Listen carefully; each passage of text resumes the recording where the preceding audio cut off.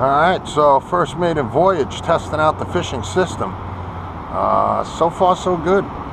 So we got uh, we got a fish finder up there, portable fish finder.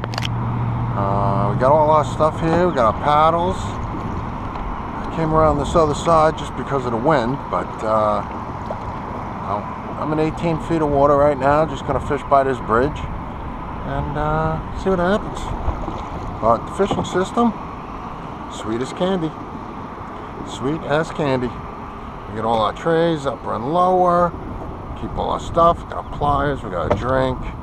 Um, I mean, so far, can't get any better than that. Really can't. So, alright, let's take. We're gonna try our luck here. Haven't fished yet, so put a cast up there by the shore.